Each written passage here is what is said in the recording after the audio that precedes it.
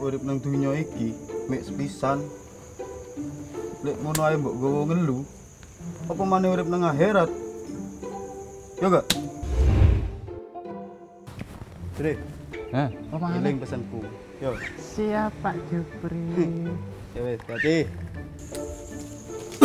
Enggak mas, kopi nih. Donon, Mbok.